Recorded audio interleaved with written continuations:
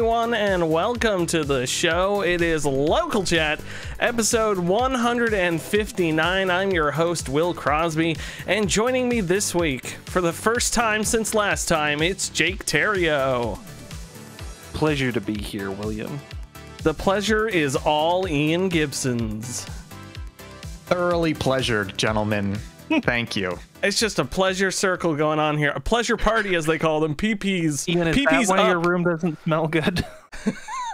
No, I've been farting a lot. I don't even know why. I didn't. I didn't eat anything to deserve this, but it's happening. Just had a Um, can of beans.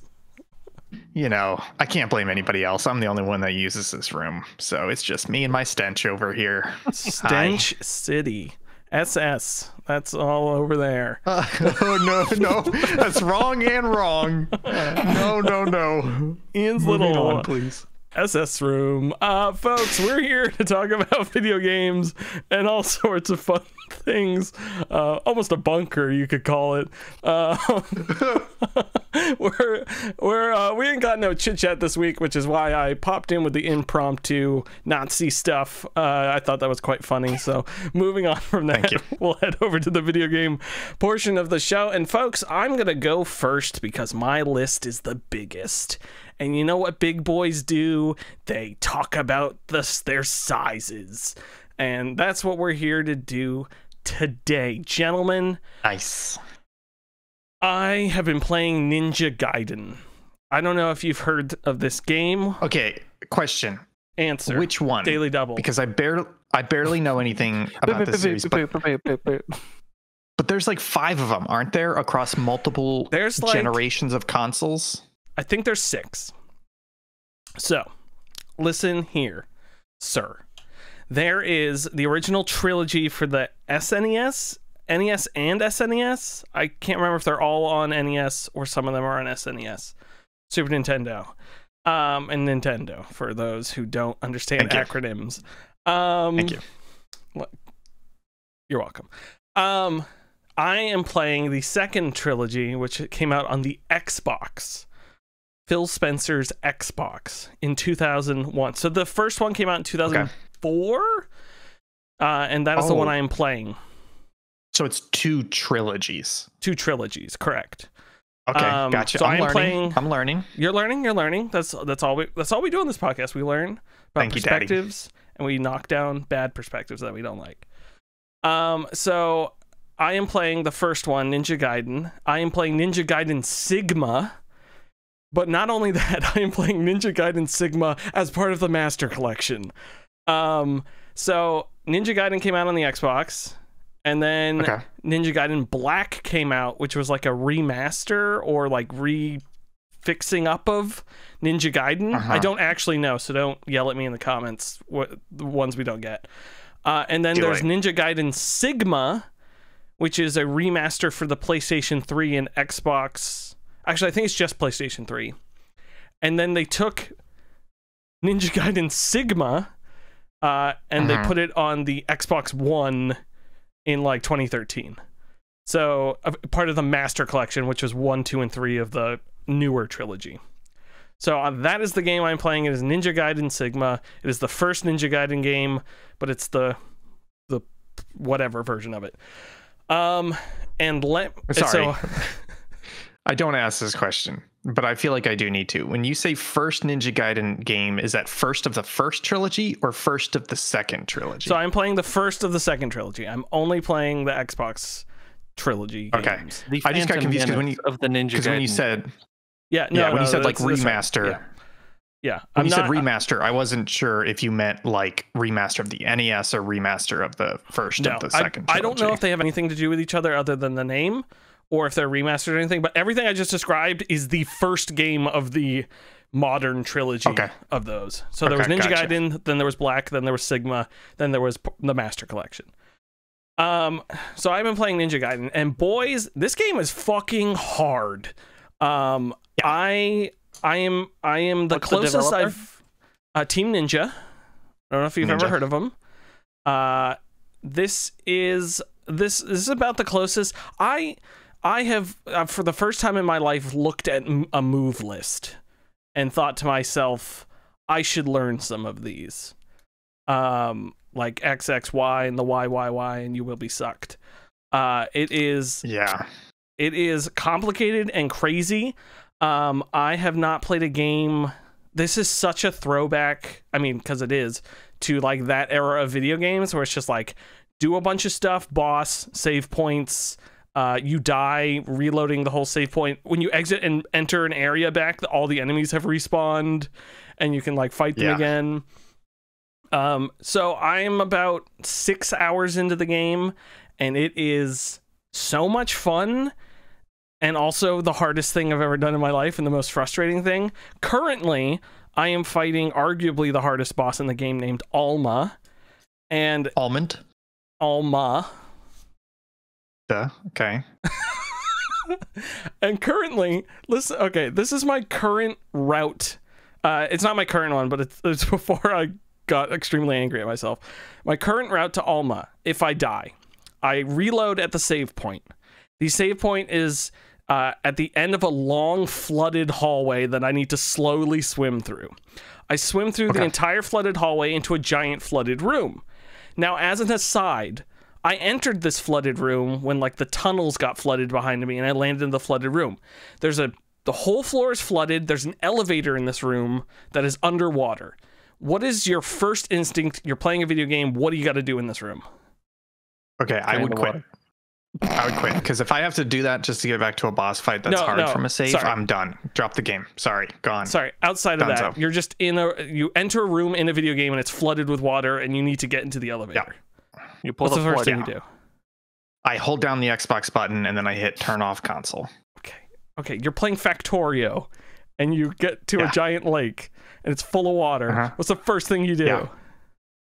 Uh, if I'm early tech, I build around it. If I'm late tech, I go get a bunch of concrete and dirt to, to build landfills, and then I'd fill it in as needed. Okay, Jake, what's your answer? I said drain it. Drain the swamp. Yeah, okay, that's a great idea. It's not swim into the 45. elevator and use the elevator that's working even though it's underwater. Um, so that's what I have to do. I have to swim from the save point down the entire flooded hallway into the elevator, open the elevator, swim into the elevator, take the elevator up, wait for the elevator to open and close animation, exit the room, walk uh, into the atrium, walk around the atrium, enter the archival room, fight three Oh to six God. enemies to get my health back Why up to are full. you still? Why are you still playing this game? Back up to full, done. So then leave the room, jump down, fight Alma, and die in about 15 seconds. Um, I've done that maybe 30 times. I finally got to the point where I eliminated the enemy killing part, where I went and filled my health, had enough money to buy another health potion, and then swam all the way back to save. So now when I die, I only have to swim and jump into the fight with Alma. I have gotten Gotcha. her health so small, and it is a literal nightmare. But the worst part about it is I am unfortunately enjoying this, and I just I'm gonna beat this game. Um, it just Well, it can just I can I tell you something? yeah You should stop playing this game and put all this effort into Metal Gear Rising because if I'm not mistaken, I believe you have not played that game. Is that correct? yeah. But that game looks boring and dumb, and I would rather Are you this game, no? which is The fun. thing is, Metal Gear is Rising. people say about platinum Revengeance. games. It's it's everything you've described is what Metal Gear Rising Revengeance is, and but it's slightly newer. It's better, and it's Metal Gear. And you get to fight I- a United States senator. Yes, Nanomachine, son. I yeah. I'm not saying you have to actually stop playing Ninja Gaiden. This is really just a transition into you should absolutely play Metal Gear Rising because if Oh, you're yeah. enjoying this, you got to play Rising Revengeance. someday I'll play it, but I am genuinely enjoying playing Ninja Gaiden. And like, it's that kind of frustration where you're just like, like, oh, I just got to get through it. And and it's funny, like, there's these ninjas uh, that I fought at the beginning that throw exploding shurikens, and now I can like wipe them out in about like 15 seconds, where like I would constantly die to them beforehand. So Yeah. like, it does feel good. I have the double swords now, um, and and it's just neat. There's not all this like annoying like Dark Souls weapon scaling, what weapons work. Like it's kind of just whatever weapons you feel comfortable with that you're using. That's nice. And and that's the part I find enjoyable. And then like as far as beating the bosses, it's just like getting it down uh, to like a science. Like I know what I have to do. I know how to dodge these things, and I'm getting hit by them. And I feel like every time I fight that boss fight, I come out of it being like, okay, this is what I need to change.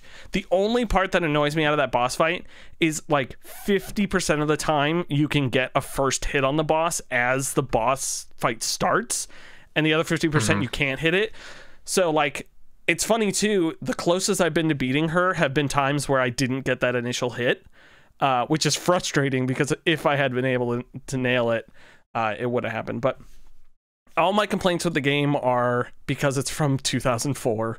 Uh, that's basically it. Other than that, it runs great. It feels great.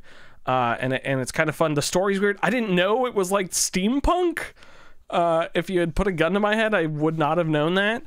Um, also in Sigma, they added these levels where you play as Rachel, uh, who is a whose sister is Alma, uh, and Rachel has the largest bazongas I've ever seen in my entire life.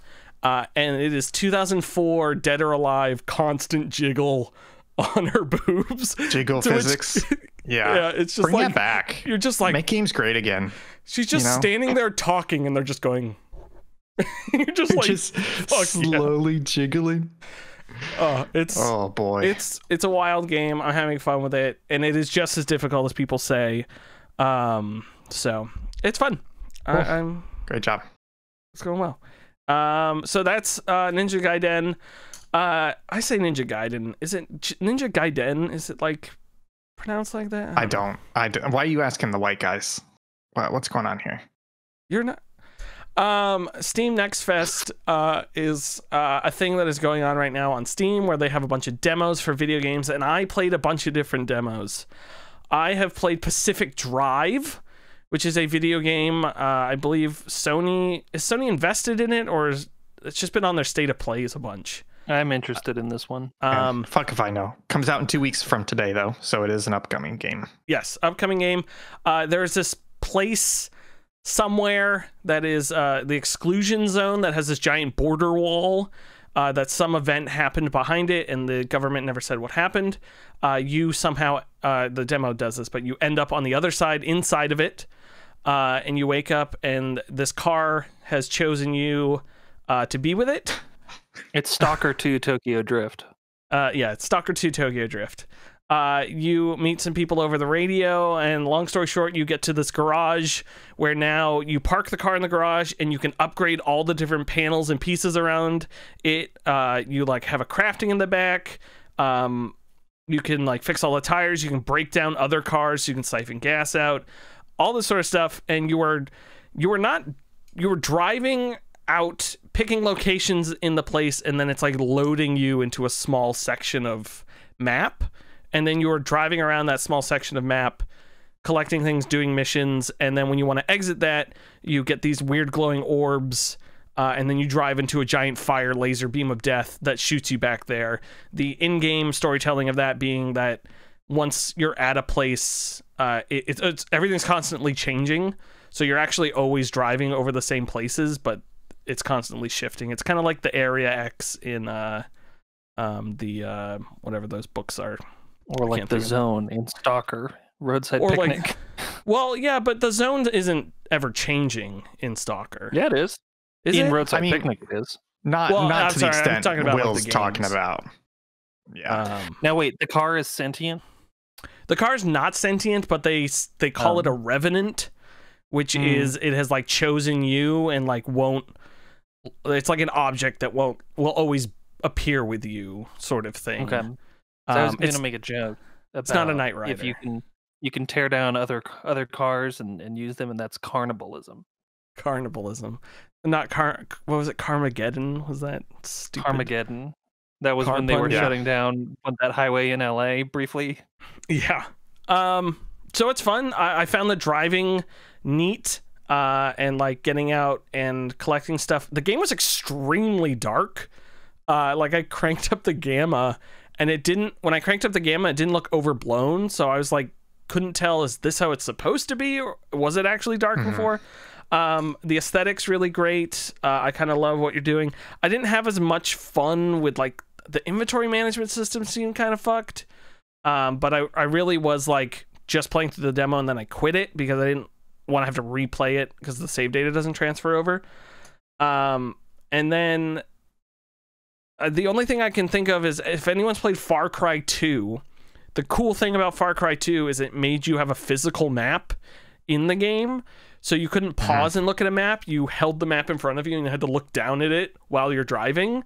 And that is essentially what this game is. You're just doing everything while driving. I don't know if there's short hotkeys to like turn the engine off and do the wi- uh there was for wipers but to like throw it into park but i was like sh- having myself turn the engine off put it in into park to like save on gas um and all these different situations so it was kind of fun I i do i, love a diegetic map. I big do love a fan. diegetic map Mhm. I something okay. Can you help me answer this question? Yes I I I feel like I read or heard somewhere that this is like a roguelike run based game. What is is there a loop in this game? What's what what, what is it? Um, I, I feel like the run based game is probably just the the like map it generates. I don't know if I don't think if you die you start over from the beginning, but I, it, it's like every time you go out you're going out on a run to go complete objectives, and it's like making a Oh, map. okay. So it's a it's a what is it called? Like a zone based Yeah, like No. I assumed I assumed when I went into this game it was just a big open world map I could drive around, and it's not. Yeah, So gotcha. So so it is kind of run based, but it's it's not. There's a term for it, but it's more like Escape from Tarkov, Dark Zone in exactly, yeah, uh in in. I think I'm having a stroke. like extraction, but but it's there's not other players there, Yeah, obviously. extraction. yes, that's what it is. It's an it's- extraction game. It's generating. I think it's generating the level every time you're going out. Um, yeah, because at the end of the like tutorial mission, you like add an upgrade to the garage base. So I assume it's like a constant Gotcha. bringing stuff back to that. So it's so so it's an extraction game. You're doing runs to get stuff and bring it out, and whatever you end up yeah, leaving with that. yeah, and it's kind of like a puzzle game. doing Okay. that. So it's, Get to the it's really a puzzle game. Wish. What was that, Jake? I'm referencing Roadside Picnic again. Ignore me. Okay, you Um, do that, bud. I do look. There's something burning inside of me that I have to get out, which is that That's the. I feel part. like I feel like the perfect setting for a run-based roguelike game would be January 6th. Oh my god. Right? It's like get in the Capitol. And then you get in the Capitol and it's like, what are you gonna do? You're gonna go shit on Nancy Pelosi's desk? You're gonna go try and like get in the like the House of Representatives? You know, in the end goal, how you beat the game is the run in which you actually stop the vote, right? Like that's the that's the ultimate goal. But each That- run you're just that- like, I got I gotta get a little bit more, you know? Every time you get shot by Capitol Police, the QAnon shaman revives you, and that's what starts the loop over. Yeah. That one one of your goals is meet the QAnon shaman because then he gives you a free revive every run. It's it's one of those Yeah. knowledge based Yeah. games like we're on to something. Outer Wilds. Yeah, exactly. Yeah, actually, yeah. This is Should a you good save fucking Ashli game, Babbitt folks. or not? It's like like I, I I hate to keep going with this, but it's like if you watched if you watched the footage, like how you got into the Capitol, like people were like trying to figure out like, oh, this fence is only ten feet tall, but it's hard to climb. But this one's this one's taller, but I can climb over this balcony. Like you're trying to find the weak points just to get into the building. After the first run, you This know good not idea. to follow the cop because he's leading you away from the chambers. Yes. So you, Yes. you know to This is a- turn turn there. legitimately a good fucking idea. Like you No, could have a very not. good game here. It's not a good it fucking is. idea. No, I want more. I want more roguelikes based on real events. Okay. nobody that's wants want. that. Um, Oh my god. So Escape Pacific. Drive. Uh, the next game I played uh, was Balatro, which is uh, which is a game Karen is now obsessed with, and uh, is playing way too much. It comes out later this week or later this, month. Excuse me. Uh, it is a game that you are uh, playing. You're dealt cards, and you are playing poker hands to beat the small, big, and boss blinds of like poker Nice. rounds. So you get a hand of I think eight cards, nine cards, and then you are choosing the cards out of that your best poker hand to play. Uh, in between rounds, you unlock Joker cards and tarot cards and planet cards Joker cards affect the stuff in the game. So one Joker card you might get is every odd number adds 30 chips in your played hand. Or I I got one that was a piece of paper that just says this card repeats the leftmost Joker card.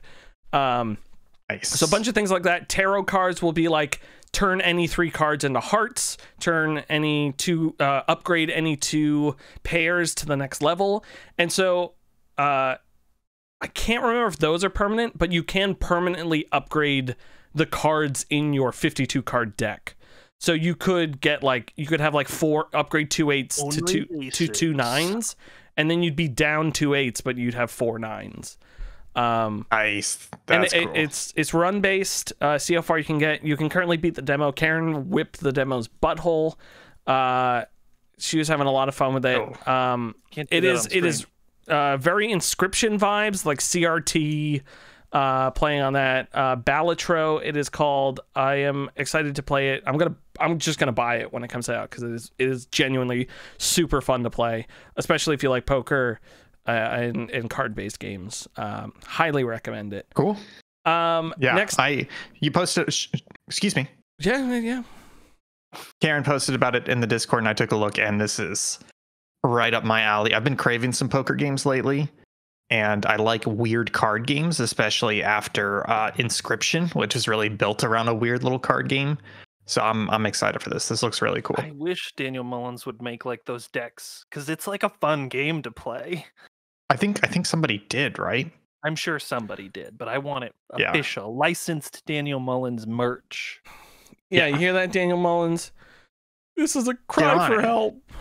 Get Um, off your ass and get on it. Yeah, why don't you make something good for once? Like Pony Island 3. Um, next up, Summer House. This is a very quick one.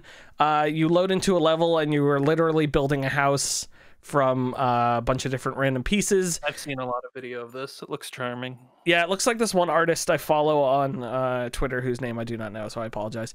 But it's very charming. It was, I don't know if it was glitching for me, but my main house was fine. But the house, like the little tower I built next to it, uh, like half the objects wouldn't properly line up with it. Uh, no matter how I tried, like it would always be off by like half a block. So I don't know if like something actually accidentally got glitched uh, in the demo, but it was just a chill, fun house building thing. I could see my like if it's the same way I think uh like enjoyment out of uh like Dorfromantik before it was a, a like object based game or Islanders um stuff Yeah. like that where you're just building building for the hell of it. Uh it was fun. It was cute. Uh, and then finally, the best game I played out of all of these demos, I think I pay, played like 15 demos, is called Eclipsium. Uh, this is. Uh, it looks like Doom or Duke Nukem, where basically you can tell they took photos and animation photos, real life photos, and just dithered them and like toned them down.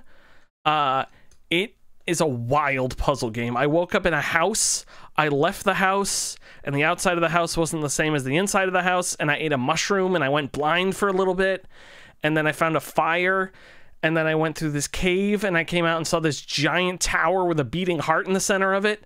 Uh and then inside the cave, this is my favorite part. I fell off into the void and it the respawn, it lands you back into the house you started at, and then when you walk out, you walk out the door to like the level you were just on, and then the house disappears Ooh, behind you when you walk out. That's cool. So there's a lot of tricks like that. Um, at one point, you like take a boat, and then the boat stops, and you're like, "What? Why'd the boat stop?" And you look back at where the cockpit was, and it's just a doorway to another level, and you're like, "Oh!" So you go in there, you do a bunch of shit, including the scariest water I've ever been in my entire life, where when you get in the water, it just starts like going like uh, like playing this music louder and louder, like something's coming to get you. Uh, t- absolutely terrifying. So you do all this stuff inside there, and then you get this container. You leave back onto the boat, and then you realize you just went to go get more gas. So you pour gas in the boat, and it like continues on. Uh, it looks really cool. It feels really great. The sound design's awesome. Uh, highly recommend checking out the demo. Clipsium. I don't think it has a release date, uh, but I, I really enjoyed it. I, I'm thinking about making a video about it because it's exactly my shit. Um, and that's it. Those are the games I've been playing. go check out Steam Next Fest, please. It is it is worth it uh, to see all those demos, wishlist things, and let people know uh, that you want to play their games. Plenty of demos out there. Uh, Ian Gibson, do you want to talk about Enshrouded? Um, no. Uh, I'll just have to. it's. I'll just. I'll. I'll. I'll hit it from a different point and and rather quickly, which is that Mhm. it feels like the survival genre is in like a very good point right now where it's starting to become saturated in a way. And there's a lot of interesting survival games out there. Uh, you know, Palworld brought something unique and interesting. We just had Valheim recently, etc. Um, even the I think Sons of the Forest 2, if that's what it's called, is coming out soon, even though it hit early access last year to a lot of fanfare. So the genre is really in its heyday. But that being said, Enshrouded is not a good survival game. Um, and, and I, I'm more approaching it from the idea of like Will and I have been playing this, and we pretty quickly started pointing out things that it was doing wrong and just being and we're not even survival genre like huge fans we've just played a couple of them and enjoyed them and it's like why are you doing it like this when this is much better and other games are doing that and there's plenty of things that palworld's been doing that are better done than what's done in enshrouded so it's kind of weird where if enshrouded had come out five years ago it would have been fantastic Mhm. because the genre was not at a high point then. But now that we have so many of these games and we've it's iterated so quickly over the years, and we have so many examples of how to make a good survival game, not because there's like perfect survival games out there, but it's like this game does crafting really well. This game does exploration really well. This game does like storage. This game does building really well, etc. Enshrouded is just like it's like a middling survival experience across every single one of those. So there's nothing offensively bad about it, but there is nothing particularly great about it either, especially compared to these other games that have much higher highs and some much lower lows. So it's like it's disappointing. I mean, I I, I mean, well, maybe you could talk about it a bit. I'm sure you were just as excited to play this game as I was. I feel like we're both ready for a survival game, especially after you know Palworld kind of scratched that itch for a bit. Yeah it feels like it feels like uh it's not i mean it's a good it's an okay survival game. It just doesn't feel like it's uh it doesn't feel like they play tested it. Like they put all the things and pieces of a really good survival game but none of it is paced out very well. So like i was saying to you on, on that Yep. stream uh like in valheim it really paces stuff out. So by the time you're ready to build a a sufficient base, you have stone and foundations. By the time you're ready to build a big house, you have plenty of access to wood and stuff. By the time you're ready to decorate your house, that's the time you unlock dishes and and uh, trophies and stuff. Yeah. But this game like started you off with that stuff, so you just have menus and menus of like bed, different types of beds, different campfires, different dishes and everything. It's just like I'm not at that stage in this game. I'm like out Yeah. here breaking giant caskets to get metal scraps, dude. Like I'm not wasting any of this on a on a dish set. Um, so I think that's its biggest issue is just pacing. And the other issue is you go out to rescue the blacksmith, the farmer, the alchemist, the hunter, and they give you new recipes, which is awesome. That's a great way of doing it, bringing these people back to your base. But then you have to go talk to those people every single time you want to build something. It doesn't add it to your workbench. You still have to go track the person down every single time you want to build anything from their stuff. And and you don't just have a central place to be like, do I know how to build a charcoal kiln or do I need to go find someone to build like it's just it's just bits and pieces of a good survival game that aren't put together correctly. Yeah, I, I think I think you kind of hit the nail on the head, which is it feels like they implemented each piece of this game, tested it, made sure it worked, but they did not sit down or have enough people sit down and do a full level zero to level X end to end playthrough where they felt the progression and they felt how these systems interact with each other and they felt what it was like to be a player experiencing the first 5 10 15 hours of this game because if they had done that i'm pretty sure they they would have very quickly realized that the pieces were working but as a whole there's there's things that are not meshing well in here so it's it's a shame because there's some stuff they do really cool but at the end of the day, it's it's not good enough in a genre like this right now. Yeah, yeah, uh, yeah. Especially on the back of Palworld, but like you said, I Yeah. think think even without Palworld, I think, I, I think I, I would have said the same things and been like, let's go play Valheim. You know? Yep. Yeah. Um, I, I- will say, as a final thing, I think the one big thing this is missing is the is something that makes it unique, special, etc. Like Palworld, it was Pokemon with guns, right? That got you in the door, that got you excited. And then you're like, oh, this is actually like a pretty good survival game. And then you're in the loop and you're enjoying it. Valheim, it was like, yo, look at this weird looking fucking game, right? Like it's like pixelated voxel Viking thing, and you're like, this is weird. And then you're like, oh shit, there's a good game in here too. And then you're playing it. This doesn't have any of that. It's a lot of different pieces, but the look is nothing unique. The gameplay is nothing unique. It doesn't have any unique systems in it. It's just all that put together, and that's that's gonna kill the game in the end. Yeah, I think um, the shroud is the only thing they have going for them based on the name, and it's Yeah. even then it's just an, an it's not a cool thing; it's an annoyance. Yeah, yeah. So I would say if you're interested in this game, you know, it is only I think 30 bucks, so maybe pick it up and try it out now or wait for it to go on sale. It's not terrible. It's just there's a lot of better options out there right now. But if you've already played those or you're really interested in what this is doing, then sure, give it a shot. It's not a bad game. It's just not not good enough in today's market basically. Yeah.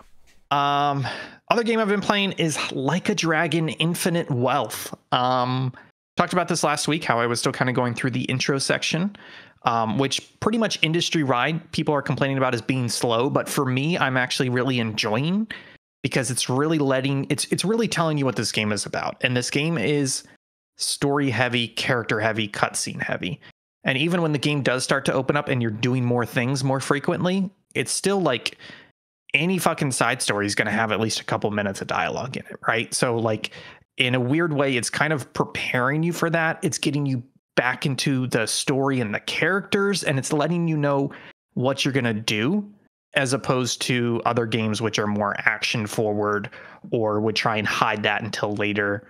This is like, no, no, we're going to kind of overdose you on cutscenes and story right now so you know what you're into. So, that being said, I did clock at what point in the game they basically take hands off. So, and let you kind of run around the map. Um, and so what I mean by that is Yakuza is always based on, you know, hey, there's a big neighborhood that's open to you and you can run around, you can go into the stores, you can talk to people. There's usually a main story objective you're trying to get to, but you can see little side stories, you can see little games, you can interact with all this stuff on the map, etc. So it's kind of an open world for you to play in and then when you're ready, there's a story beat for you to progress the main story.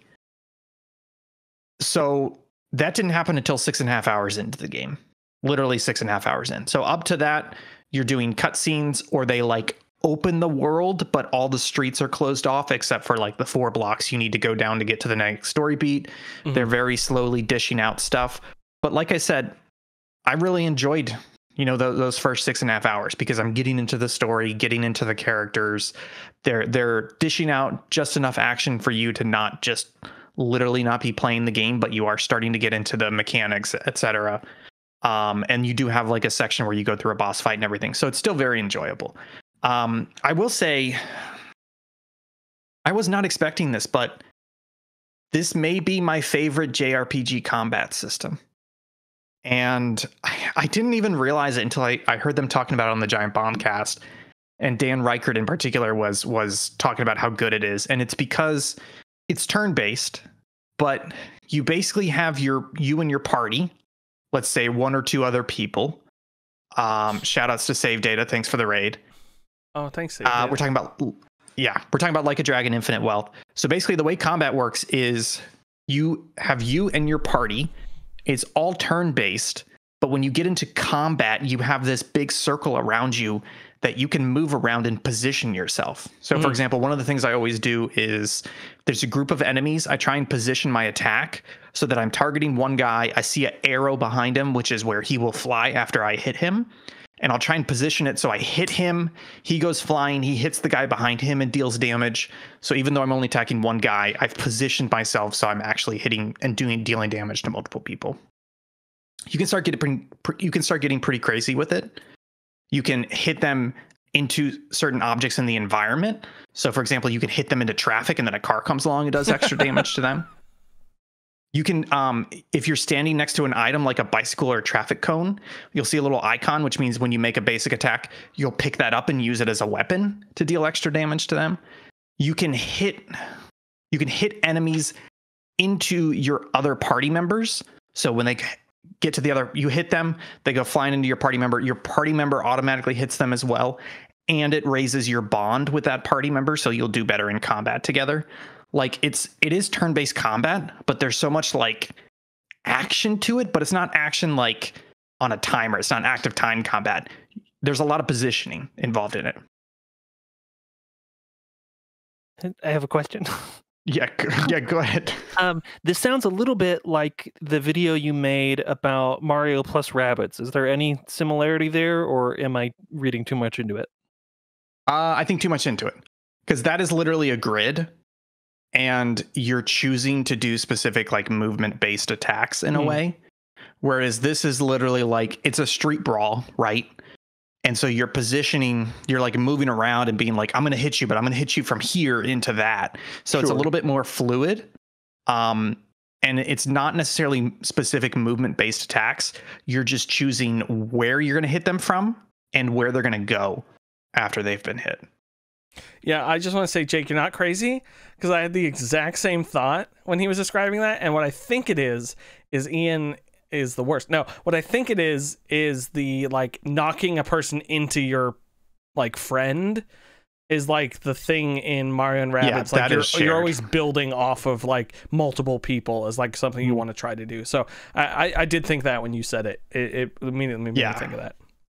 That's shared. Yeah, yeah. It's just it's it's great because it's not just I feel like a lot of JRPGs and turn-based combat is especially non-grid based is literally just like I have my action. My party is standing in a line. Your party is standing in a line. Okay, my turn. Action. Your turn. Action.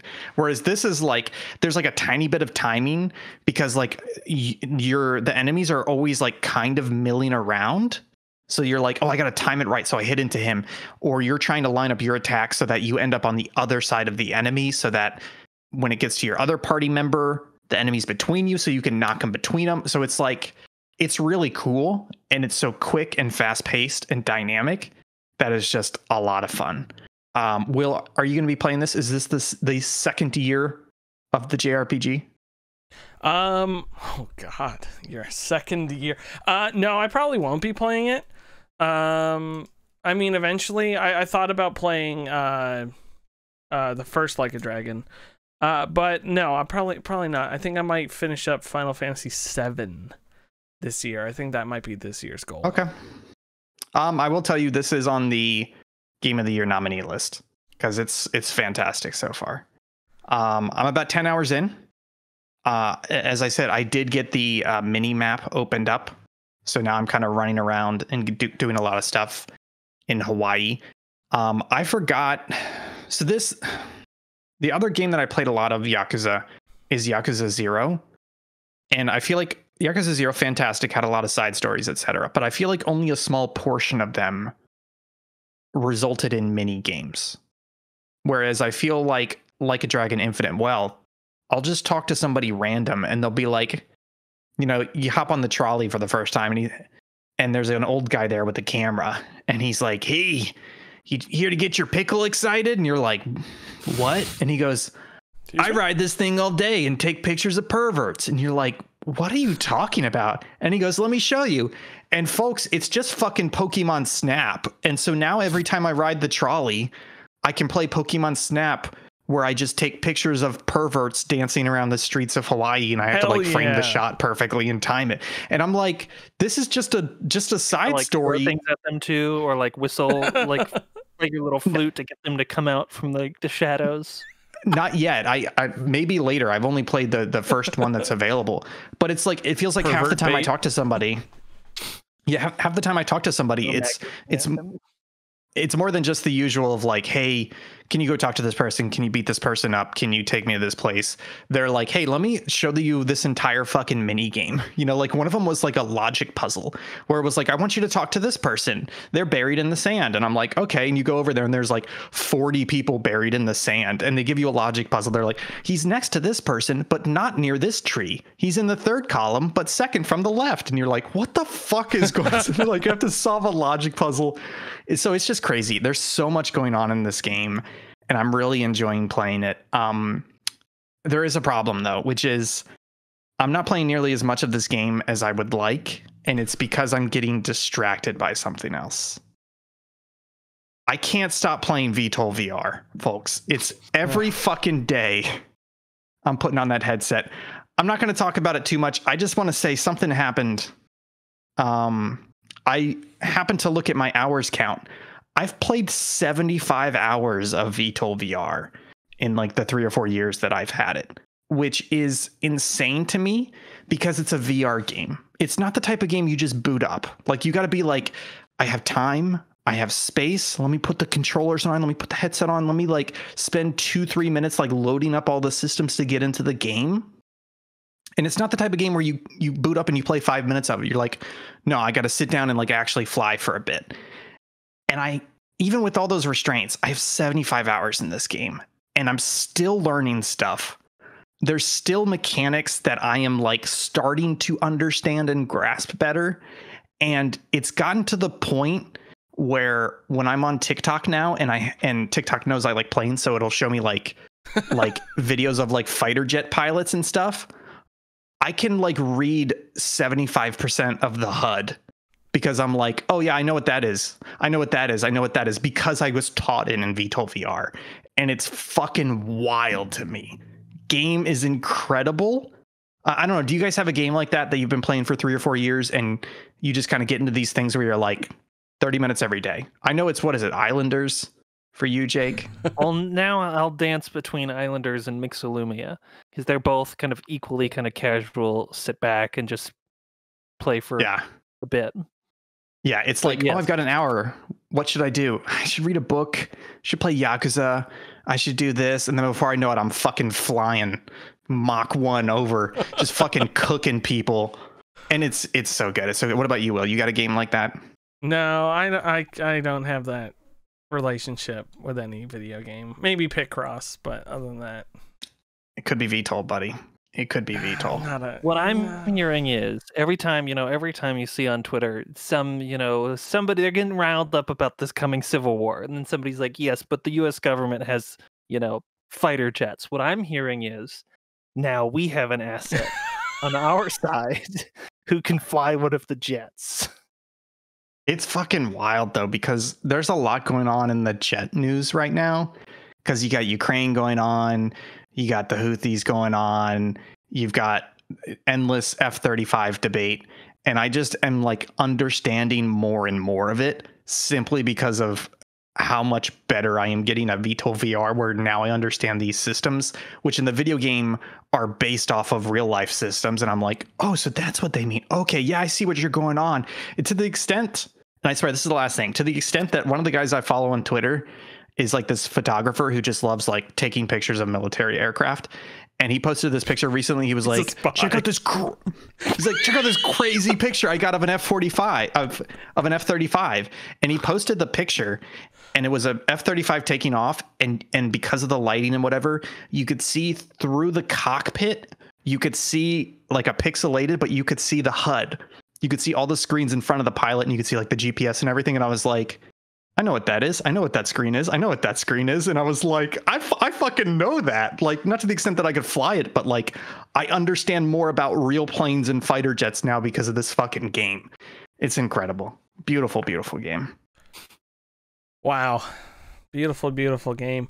Um, speaking of beautiful games, Jake, uh, your eyes are red because you have been crying Tears of the Kingdom yeah, new a pretty new game, Tears of the Kingdom that I'm uh I played whatever it was up to the point where we could d- judge them for game of the year, but I've I have kept with I have not rolled credits, but I've I've uh done all the temples. I have done up to the the point in the main quest line where you you go back up into the castle for the first time and you fight Phantom Ganon. Um, that's where Yeah, I'm at gotcha. right now. Um, yeah, I am certainly enjoying it. Uh, I like the the all the different like you know the neat little physics systems that they've built Mhm. and the uh, the com- co- combining tools with weapons uh, element of it. But um, I don't I don't love it. I don't love the combat, uh, and I don't like the depths. Oh, yeah. depths I'm gonna be honest with you. The depths suck because they take away half the things that make Legend uh, that make Tears of the Kingdom Breath of the Wild so good, which is like the signposting and the like.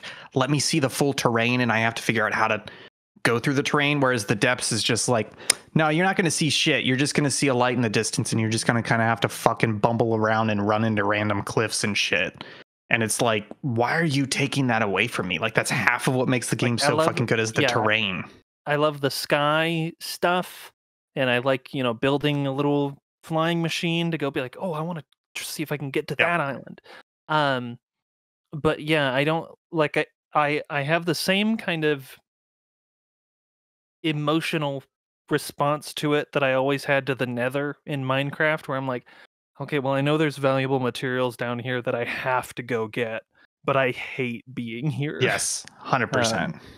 but Depths is the um, best. I um, I'm gonna tell you. I'm gonna tell you Best something. part. This is not really a spoiler.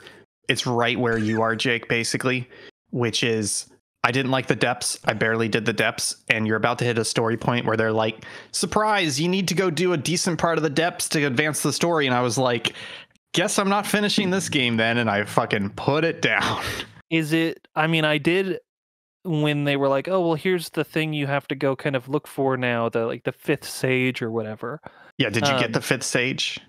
No but i and maybe i'm on the wrong track because i went and i i was like well i haven't explored the depths immediately under the castle and so i started doing that and i got down to a point No, that's the wrong. well that's then the i'm wrong way, way. on, I'm way No, on the no, wrong no, no, and I- i went look, and i got up to, to- like, up to the fifth mech stage- fight You'll go there Yeah, eventually, the- Jake. the- I, I did the same thing, but yeah, the fifth stage is a is a bunch of depth stuff. Yeah, and, and the fifth stage part is pretty good, and I think maybe because I had already kind of unlocked near the area, so I didn't have to explore. But even after you get the fifth stage, they're like, "Oh, well, to advance the story, you have to advance the depths storyline." And Mm. I had not done much of that, and I was like, "I don't want to explore the depths anymore because it's it's taken away half the shit that makes this game enjoyable." Um, so yeah, I I, I get which where you're where you're coming from for sure. I don't. But it doesn't yeah, make sense. like mechanically this game rules aside Yeah. from the actual act of fighting something everything else is great but i don't like the combat Yeah, combat is like something I tolerate. It's one of those things where I don't think the combat is good, but the weapons and the things you can do with the weapons and the weird stuff that happens with oh like, yeah oh, it's I bounced him off of here, I set the grouse on fire. So it's it's like it's like it's not that the combat is good, it's all the all the Mhm. systems that play into the combat to make it weird and varied, etc. Yeah. that make it good. yeah that's what i've been playing wow. Cool. Well, I uh, won't tolerate the depth slander, but I guess uh, everyone's entitled to their own opinions, no matter how wrong they are. Um, so we're gonna move into the news section here, folks. Uh, a lot of news this week, which is why we saved a whole 11 minutes for it. So don't you worry, Sibylla. We'll go through it in due fashion.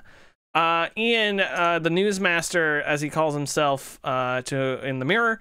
Uh, tell me all the news you got, baby boy. It is I, the newsmaster. Uh, first up, the hot button topic for this week. Uh, lots of rumors, sparse details, but where there's smoke, there may be fire. Microsoft may be bringing some of their previously Xbox exclusive games to other consoles, including the PS5, Nintendo Switch. Uh, we've heard Hi Fi Rush. We've heard uh, uh, Sea of Thieves. We've heard Starfield, We've also heard about possibly Indiana Jones, which hasn't even been released yet. And this has kind of torn the gaming sphere asunder between those who feel True. like Xbox is in a terrible place and this is the latest of blunders, and those Xbox fanboys that feel betrayed, and those who look at this and think this is a smart business decision. And we're all waiting uh, with bated breath for what Phil Spencer has said will be a business update event sometime next week to give more details, presumably on this. Uh, what what are your thoughts, Will? What do you think about this? Um, I mean, I mean, Microsoft has said over the years of they've wanted to bring stuff to other platforms. Like there, were, there was that whole initiative with Minecraft. Like you, like you literally log into Yeah. your Xbox account and unlock achievements on, I think on the PlayStation as well as the Switch, uh, Yeah. and stuff like that. And also, uh, they wanted to put Game Pass. Like there was that rumor a while ago about Game Pass on on Nintendo Switch and stuff like that. So, I mean, at the end of the day, they're trying to make a lot of money, and I think this whole thing also just exposes uh, the people who get upset when their box doesn't, their six hundred dollar box doesn't have the stuff they want on it, and it's going to both six hundred dollar boxes. But I do understand frustration coming from people being like, "Hey, I bought an Xbox because I thought I kn- knew it would get." Indiana Jones, uh, blah, blah, blah, blah, blah, blah. Like, I understand the Yeah. frustration there. It would be the same if they started releasing Uncharted or God of War or Last of Us on Xbox. Like, PlayStation people would be like, well, why the frick did I get a PlayStation? Um, well, I mean, they did. It's on PC. well, yeah. Those PlayStation exclusives are on another platform, on a Microsoft platform. Yeah. So I think at the end of the day, uh, it's people just being crabby. But um, listen, you gotta make your money somehow. And Microsoft, I mean, they're they're not making money right now. They had to lay off all those people because they're not making money. So they should try to make some money. I think this is a good idea. Yeah. I look, I'm just to say it. Console war is dead, right? A lot of this hinges on Xbox versus PlayStation. Um, not just from a fanboy perspective of like, I'm an Xbox boy, I'll never play PlayStation. Why are you putting that over there? And vice versa. But also from just like a business sense. You know, Jeff Gerstmann went off on this in his podcast lately, and he basically started screaming about how Xbox is not competing with Sony, with PlayStation. Like Xbox is competing is competing with Netflix. They're competing with TikTok. They're competing with going outside. They're competing with spending time with your kids. Like they are not locked into a single ecosystem. They are fighting for your money the same as your time and money, the same as any other fucking entertainment property. And it's not it's not just about boxes anymore. It's about how can we get you into our ecosystem to pay a monthly fee to put ads in front of your face, XYZ, etc. And if that means going beyond just a box, especially when the box is not selling that well, then yeah, fuck the box. It's not about the box anymore. Um, and, and I'll say something controversial here, but I'll, actually, it's not controversial. It's a little pointed, it's a little heated, but I'll fucking say it. Like, console war only matters if you're poor or stupid, right? Because if if you are financially independent, even even barely financially independent, you can afford to buy both consoles once every seven years. That's a thousand dollars for a seven year life cycle. And you get an Xbox and a PlayStation. Like if you if you actually care about this hobby and you care about good games, there are enough good games on both platforms, exclusives and not, and there's enough of a difference between the platforms that it makes sense to own both of them. And that's just a thousand dollars that you have to spend in a seven year period to have both the Mhm. PlayStation and an Xbox. It's not about competition between Xbox and PlayStation anymore. You should not be picking sides. You should be saving your money and buying both sides, you fucking idiot. Right? Um, yeah, I, there's the um. I mean, it, the, the idea of console exclusives, I think, is going to be a relic of the past fairly soon mm-hmm. because I Yeah. feel like they only really began as a means of selling the hardware. Like they're like, okay, this is exclusive to Nintendo because Nintendo wants you to buy the GameCube or the DS or whatever. Like, if you want to play this game, you have to buy our machine. If you want to buy what, if you want to, you know, play Mario. But now, you know, so much of it is just digital anyway. That Yeah. why is there not just every every you know Sony has their digital store and Nintendo has their digital store and you can buy it and play it wherever. Um, yeah, I think people getting bent out of shape, thinking that it's some sort of betrayal. You need to get Yeah. you need to go outside and Yeah. find more important things to be upset about because there's so much more important stuff to be mad about than a business that you already enjoy letting somebody else enjoy the thing that they made. Yeah. Very weird. Yeah. And I think the other thing is, um, I'm not going to name names simply because I can't remember them. Phil but Spencer. there were people, there were people in games media at like reputable outlets, well-known games media people who were like, just another sign that Xbox is floundering. They don't know what to do. This is a poor gaming decision. And it's like, what the fuck are you talking about? Like, So allowing more people to pay you more money. Exactly. Yeah. Yeah, especially especially when you hit them for having poor Series SX sales, which is they're not great, but they're not terrible. But let me just throw out a number here. I don't think this is the real number, but if you only have 10 million people buying your hardware, that means even if you have a bang a fucking seller of a game, you're only going to sell 10 million copies of it. You're ceilinged by your hardware. But if you spread out the hardware availability of your game, you are increasing the potential buyer base. That just makes sense. And it's and and like I said, PlayStation's already doing it. Xbox has already been doing it. They've been doing first party PC and console games for years now. It just makes sense. This is not that big a deal. And, and it it just makes sense. Period. Period. It's not that big a deal, honestly. It just makes sense. It just makes sense, folks. You heard it, just here works. first. Moving on. Um, something that kind of makes sense but doesn't to me, honestly. Um, Disney is investing 1.5 billion dollars in Epic Games to create a quote persistent universe tied to Fortnite. This is according to The Verge, who says, quote, the multi-year collaboration follows a similar deal with Lego. Uh thoughts on this, folks? Is this the new metaverse? I think Disney is far more in a in a state of like they don't really know what they're doing than Microsoft is. Um 'cause Yeah, the, yeah. the the the eggheads, the higher ups at Disney are definitely stuck in the past in terms of you know what they're doing with their brand. Um, with Bob Iger, I think it was today, being like, "Yeah, these kids are playing a lot of video games. We should we should get on that, like, buddy. That's been happening for a long time, and you're the one who who bought Lucasfilm and then nuked LucasArts because you didn't want it, and now you need it." Um, I Yeah. mean, I don't know. Fortnite's gonna eventually be the only video game that anybody is allowed to play legally, so I guess it makes sense. Can I say something? Can I say something here? You're gonna we say all know this anyways. is true. We all know this is true. This deal makes sense, but they picked the wrong company. It should have been with Roblox. Like, if they did it with Roblox, day fucking one, it would have 10 times the impact with their intended uh, audience, which is kids, teens, and fucked up adults, than it would over the entirety of whatever they end up doing with Epic and Fortnite.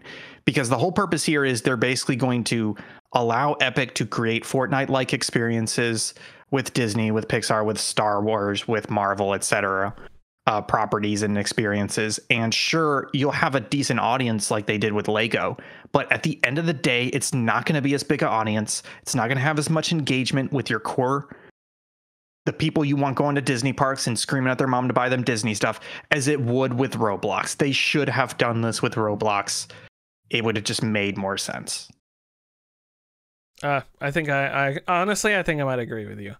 Uh, I will say there were already ties, so I don't think they would have done it. But I think, I think that Yeah. does Oh, make yeah, they've been sense. putting Marvel characters and Star Wars characters into Fortnite for years. now. Yeah.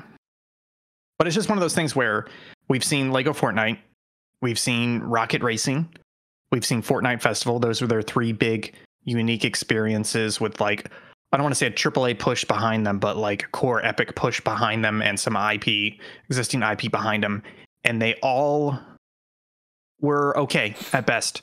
Rocket Racing sucks. Fortnite Festival, people don't like it. It sucks. Lego Fortnite, we played it. We were like, I guess this is okay. And a lot of people were like, this is okay, but I'm done after five hours. There's not much more to do in here. Like, I, I just don't trust Epic and Fortnite to really capitalize on this and provide them with uh, 1.5 billion dollars or more return on investment for Disney. They should have done Roblox because think about Roblox, quality doesn't matter. You can make the shittiest thing possible in Roblox and you'll have hundreds of thousands of little kids playing it. We've proven that time and time again. That's all you have to do, buddy. If there's anyone who knows how to get the kids in on it, it's Ian. I know him. I got 200 I got 200 friends on Roblox and they're all children. All right. You don't know that. Legally, you don't know that. Your Honor. yeah. Adults don't play Roblox. Adults don't go around friending people on Mr. Roblox. Mr. Crosby, do you remember what did he, did Ian Gibson say Uh, on the on the night of next February said- eighth, twenty twenty four? I'm giving birth. I'm giving birth. This is a puppy. What do you- There's part of me. I'm going to say this out loud because there's no way it's going to happen. But Jeff Gerstmann keeps talking about Roblox, but he keeps saying that he needs somebody to show him what Roblox is. And I really want to reach out and be like, hey, buddy, you don't know me, but I have a Roblox series and I need to show you this. we need to go on this journey together. Yeah, I'll I'll cold I'll cold call him for you. oh, Um, boy. God, that sounds like a nightmare. Uh, 1.5 billion. Hey, invest in Subpixel Disney. That's where you'll get your real money's worth.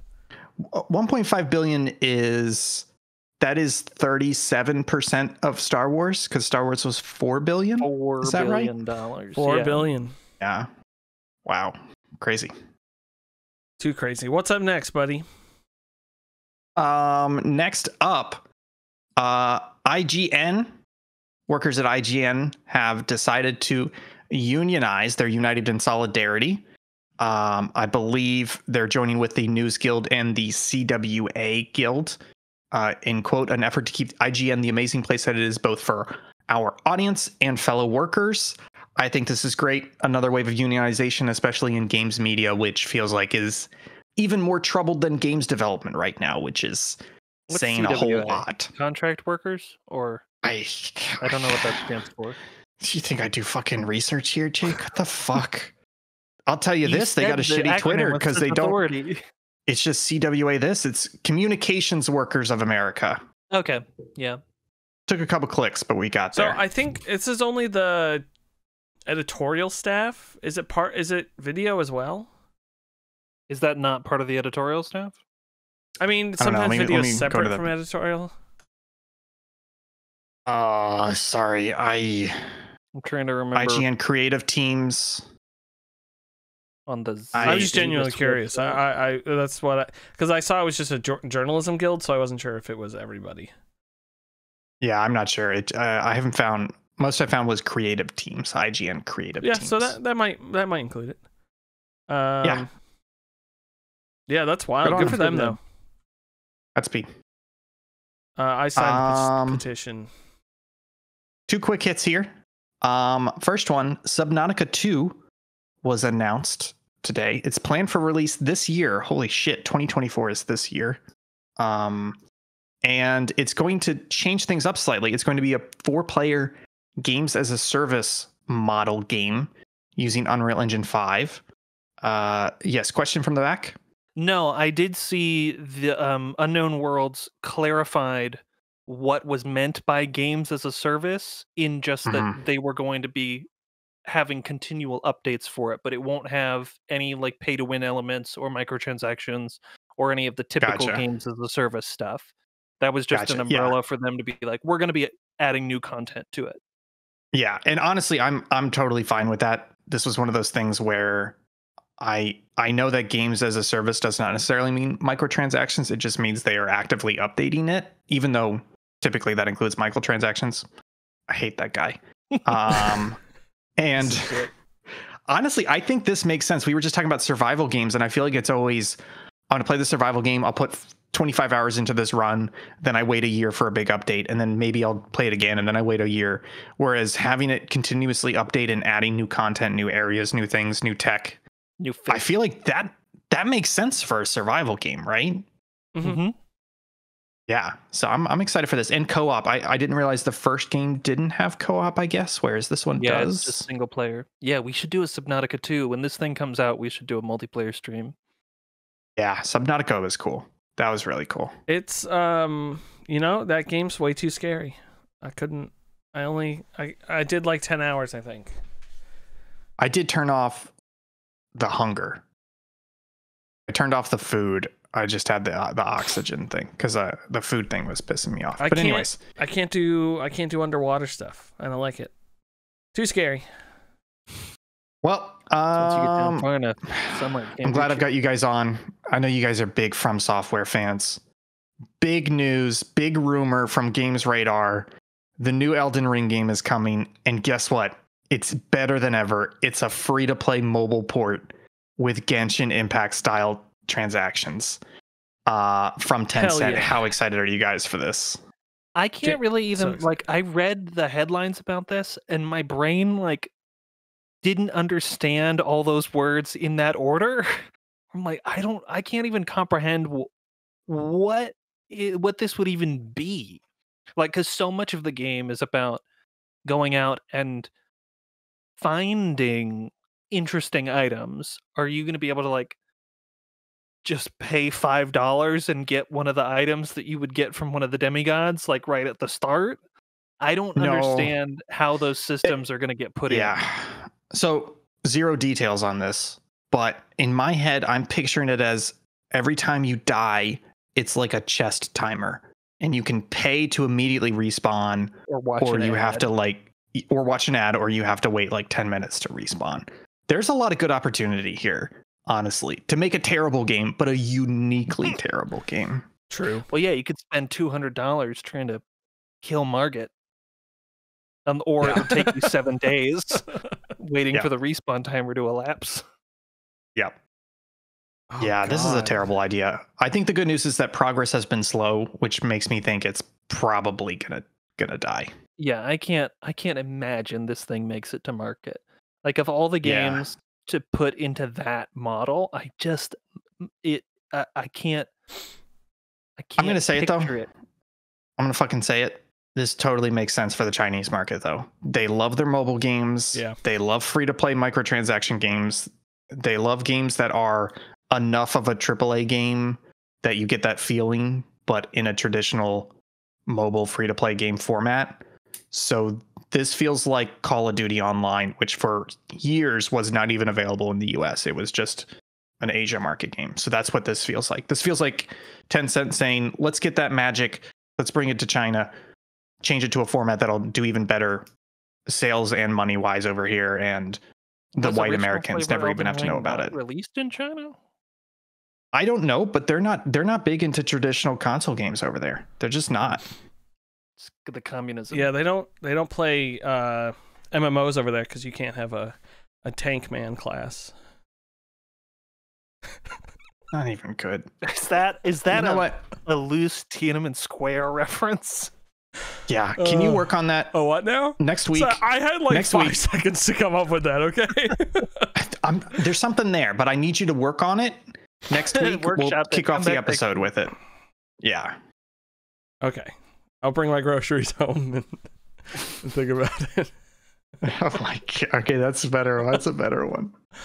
Um, I was gonna say, I this is an aside, but I feel like every time I see people talking about Genshin Impact, uh, or when it comes up, I want to die because it's always people being like, "Oh, look at this character! Look how cute they are!" Like, and they're like, you know, I just this might be a bigger problem with people in fandoms, but they'll always be like, "Oh, I don't think this character would do that because they're in love with this character," and like all these elaborate like, ta- like like talking through of story beats and characters when it's just like you're selecting characters in this bad mobile game and I'm just always left perplexed and confused when I see these posts. And I'm just like, what is going on here? Like, oh, they're revealing this new character who who's definitely the sister of this character. And I think they want like I'm like, what is going on here? These people aren't real.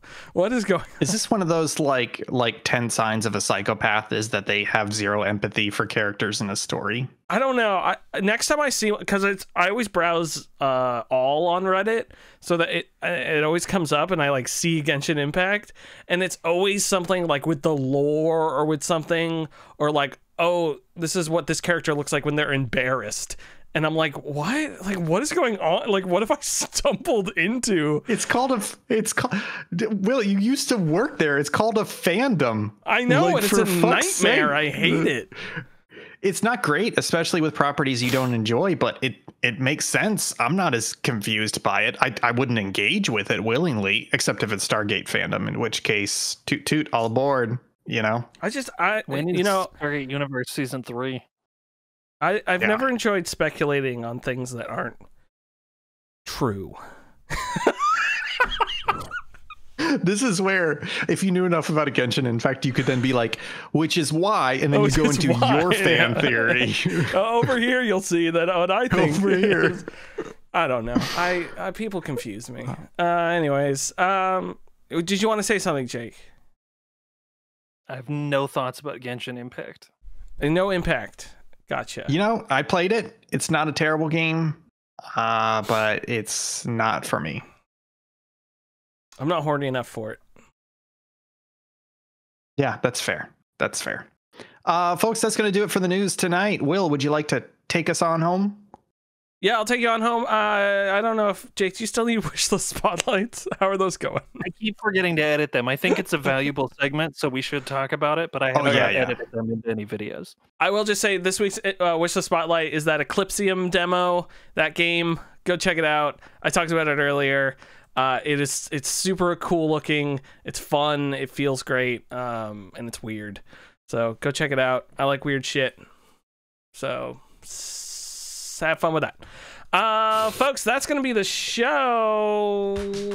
I will be back this weekend with the one and only Helldivers. We'll be playing, I believe, tomorrow, Sunday. When are we playing it? No, no, sorry, Saturday. Sorry, tomorrow's Friday. Listen, I don't have a job anymore, so every day is a Saturday. um, we're playing it Saturday, I think, or Sunday. One of these days this weekend. Saturday. One of those days. One of those days. And then uh, next week we're starting new shows. Uh, I put together a delicious thumbnail for my show today.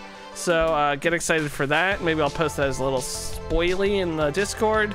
Uh, and we'll be back with those next week. Also, local chat next Thursday.